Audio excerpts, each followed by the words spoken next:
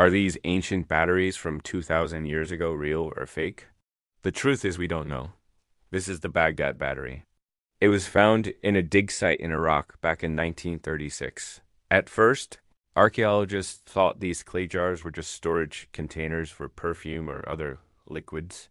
But then in 2015, a researcher came along and said, wait a minute, these are actually batteries. See, back in the day, people would use clay to coat the outside of their jars to keep their food fresh. But this particular type of clay is also excellent at storing an electrical charge. And when you put two of them together with a little bit of vinegar salt water in between, you get a battery. The question is were these jars used as batteries? There's no way to know for sure. But if they were, that means that the ancient Mesopotamians had access to electricity more than 2,000 years ago.